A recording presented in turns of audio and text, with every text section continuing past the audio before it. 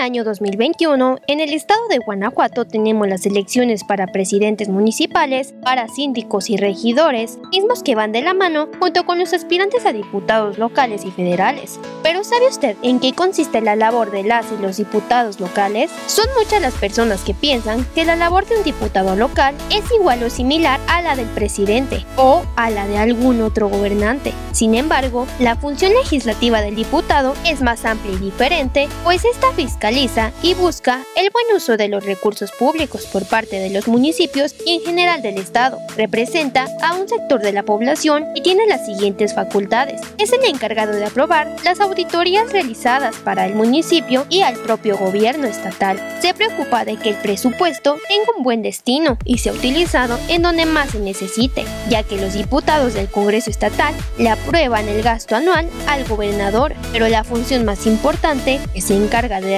es la aprobación de las leyes para mejorar la calidad de vida de los ciudadanos que representa el territorio que lo eligió. Este también se encarga de aprobar o desaprobar los gastos y leyes del Poder Ejecutivo Estatal, así como gastos extraordinarios propuestos por el gobernador o sus secretarías. Sin embargo, en toda esta función, el diputado tiene la responsabilidad de amplificar la voz de los ciudadanos y de escuchar activamente las necesidades de la población mediante foros ciudadanos y consultas populares. Sin duda alguna, en estas elecciones tendremos que reflexionar y observar las propuestas para poder elegir a quienes nos van a representar. Para el sistema de noticias de TV Libertad, informó Mariana Zarate.